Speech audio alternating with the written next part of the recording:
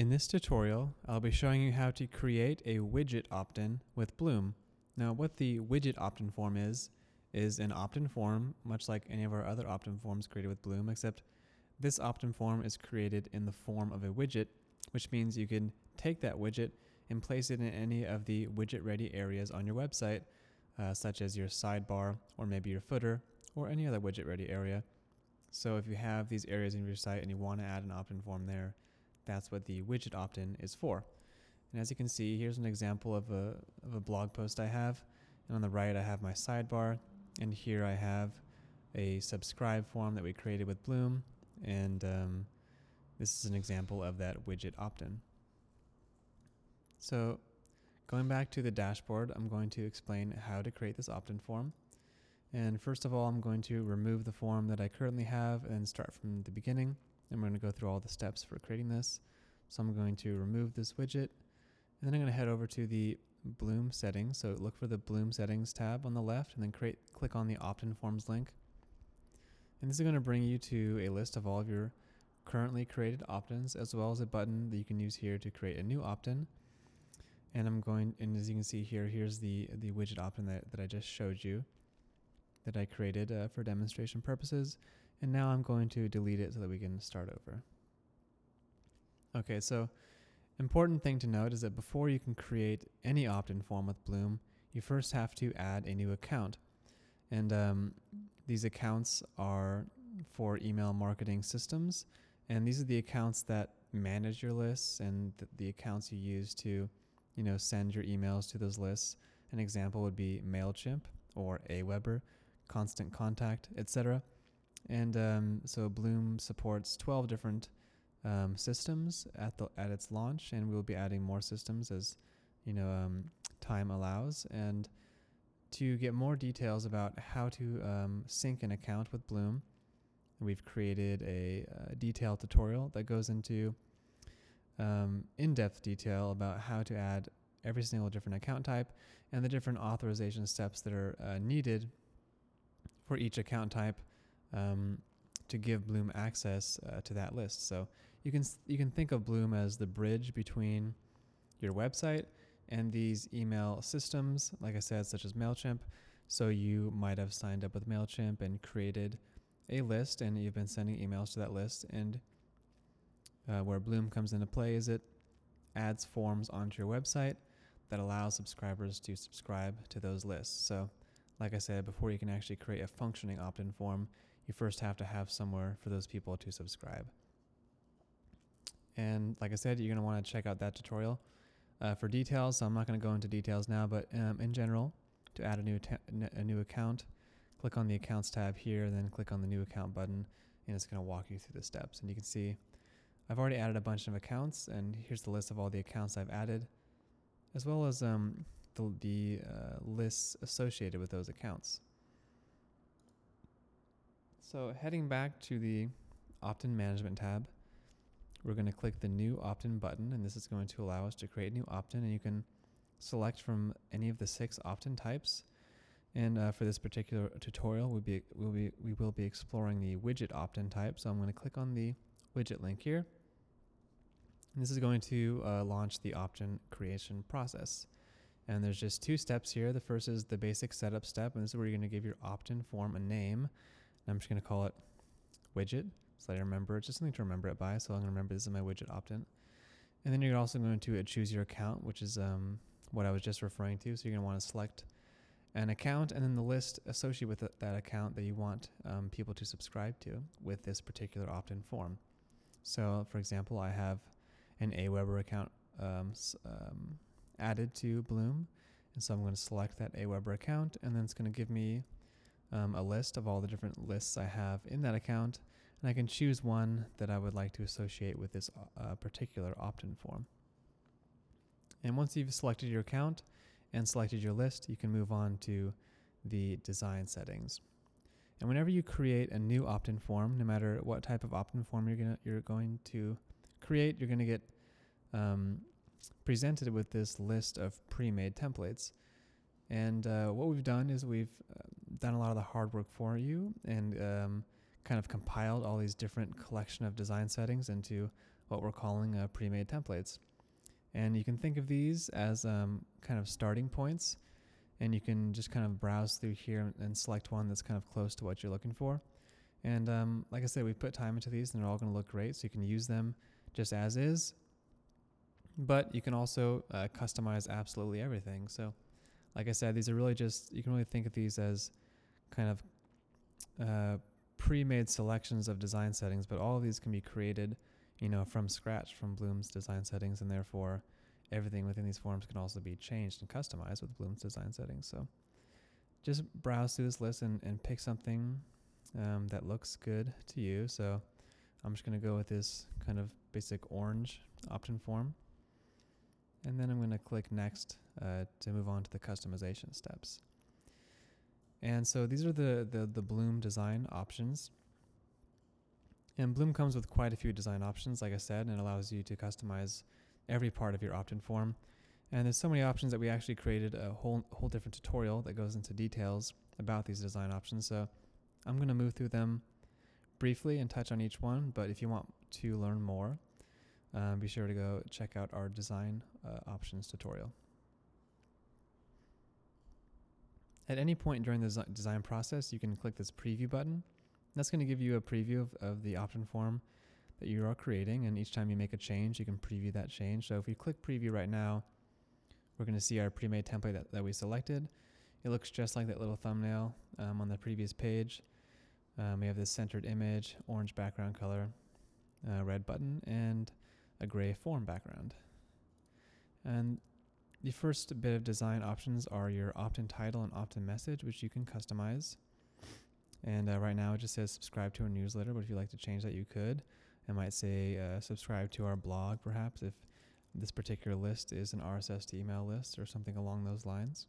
You can customize the message, and this is the text that uh, the smaller text that appears below the title. And like I said, uh, every time you change something, you can check it out in the preview. You see our um, title has changed here to, to subscribe, subscribe to our blog. Next up are the image settings, and here you can upload your own custom image if you don't like the one that, that we have here. And you can also change the orientation of the image to above or below the text. Right now it's sitting above the text, but if you like to change it to below text, you can do that. And as we preview it, you can see that the image is then placed below instead of above. And um, you could also choose to have no image if you like. If you like, so you could there's no there's no um, no one's forcing you to have an image. You can just have text, which can look perfectly fine, and you can upload your own image as well. Next is the image load in animation, and this affects the animation that is applied to the image when the, when the page first loads. And it's just something that can kind of catch your visitor's eye. And by default, it slides up and fades in, but you can try something else. We have a bunch of different fun animations here you can you can test out. Uh, flip is a nice one that I like. So if I load this, you can see the image kind of flips in. Like I said, it's just uh, an extra design touch that, that you can choose. And kind of the more crazy you get, probably the more um, it's going to attract the eye of your visitors. But it's really you know, up to you. Next up, we have the hide image on mobile option. And what this does, is it allows you to um, hide the image when someone visits your website on a mobile device. And the reason this is useful is because um, you know the bigger your form gets, the more you know text you add, the longer your header and, and messages, the bigger and bigger the form becomes. And especially on mobile, as the screen size is reduced and the width of the form is reduced, the height of the form gets increased because that text is kind of squished into a smaller area. And you can end up with a really long opt in form, which might not be ideal. It's kind of nice to, to try and keep the opt in form height no taller than the size of a phone screen. And so, one way to uh, make more room for your text and make that opt in form smaller is to remove the image, and so you can choose to do so with this option. Next up is the opt in styling settings, and these are the basic uh, design settings for the overall opt in box. First of which is the background color, which we have set to an orange right now, but if you wanted to change that to more of a red, perhaps, we could do that. If we preview it, you can see that our, our background color is now changed to more of a red. You can adjust the header font and body font. So there's uh, dozens of fonts here to choose from. And you can also adjust the text color. So um, you want to adjust the text color based on your background color. So right now we have a dark background color and therefore a light text shows up nicely, but you can also choose to use a dark color text um, if you had a lighter, lighter background color. So let's say we have light text and a white background color. Well, that's not going to work very well because the white text isn't going to show up at all on top of a white background. So in that particular situation, we'd probably want to choose a dark text instead. And as you see here, that's going to show up much more nicely. But if we are using our um, red, orange background color, well then the light text is going to do just fine. Next up is the corner style, which affects the four corners of the opt-in box, and you can choose to make those rounded if you like. So selecting rounded corners, as you may expect, uh, rounds those corners just slightly, which looks nice. And uh, finally, we have the option to add a border to your opt-in box. And you can add that border to any of the four sides of your box. If we, and once you choose to add a border, you're going to get some additional border options. So if I choose a, a full, full border here, you're also going to get the option to uh, select a border color as well as a border style. So first of all, I'm going to adjust my border color and I'm going to make it uh, kind of a dark gray like that. And then also adjust the border style if you like, but I'll show you the standard style first, which is just kind of a solid border as you see around the edges here. But you could choose to make that dashed or um, we also have a double border and an inlaid border. And finally, this uh, striped border, which is kind of a more of like a letterhead style. And so if we select that, kind of gives you a fun effect there. And um, you can also choose which uh, sides of your opt-in box, like I said earlier, that this border appears on. So if you, th- if you like this kind of striped effects, effect, but maybe you think it's a little too much having it on all four sides, well, you can choose to have it just on the top maybe. And that might be a, a better choice for this particular design.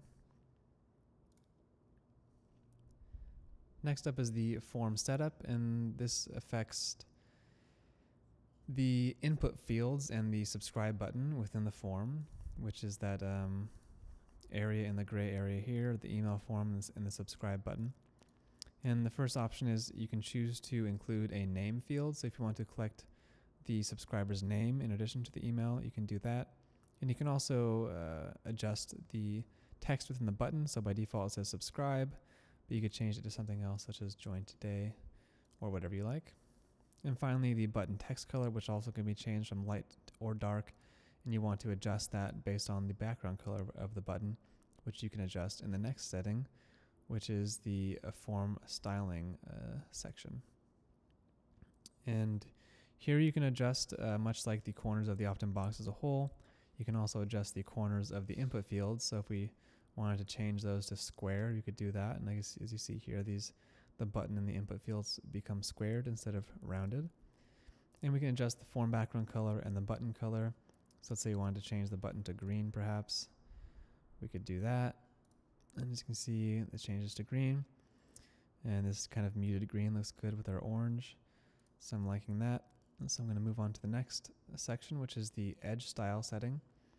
And the edge style affects um, the separation between the form and the image and the text. So in this case, it's the separation between that dark gray and our red orange. And by default, it's just a solid line, but we can choose something a little bit more fun, such as this zigzag edge. And if we take a look at that, you can see now this um, edge has become this fun zigzag style. And if you want something, something maybe a little bit more reserved, you can do this carrot edge, which looks which looks nice, kind of this classic arrow triangle pointing down to the form fields. So yeah, I can play with those and uh, choose any of, uh, of these five edge styles. Next up, we have the footer text, which adjusts the text um, that appears below the input fields. If you so choose to put text there, you can input it here and you can add a little message about maybe about your email list or maybe a link to your privacy policy or um, put any important notes you want to add there. And next up, you can adjust the success message, which is, which is the message that appears after a visitor has successfully subscribed to your list. And then finally, you can add a custom CSS. If you are CSS savvy and you want to, you know, make some additional design changes, something that we haven't allowed for here, well, you can do anything you want. if you have the knowledge to do so by adding your CSS code within this box. And so those are the two um, the two sections that and this concludes the creation process of the widget opt-in. So when you're all done, you're just going to click save and exit. And once you've um, saved your widget opt-in, you're going to see it appears here within your within your active opt-ins list, and it's also going to appear in your widgets um, area. So in order to add this widget, we first have to go to our widget management page within the WordPress dashboard. And to get there, you're going to click on the appearances and then the widgets link. And this is going to show you all of your widget ready areas. And in my case, I have a sidebar here that I'd like to add the widget to. And you're going to look for the Bloom widget, which is right here. And you're just going to drag that into the sidebar. And you're going to see a couple options here. You can adjust the title. And then the most important thing here is the um, opt-in selection. And you're going to get a list here of all the widget opt-ins you've created. In our case, uh, we only have one, the one we just created. And so just this one um, opt-in form shows up, but there's no limit to how many opt-in forms you can create, and you could create different uh, widgets for different widget areas on your site, um, kind of tailor them to those specific posts or pages or categories, etc. So I'm going to select the widget opt-in just created, and I'm going to save.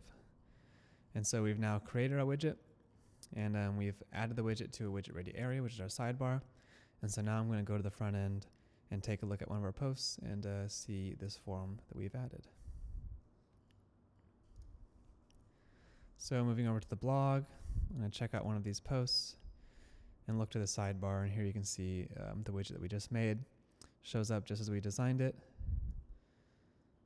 and users can now subscribe to your blog um, as they're reading it. And so, yep, that's, this is um, an example of how you create a widget opt-in with Bloom, as well as um, how you add that widget to a widget ready area on your website.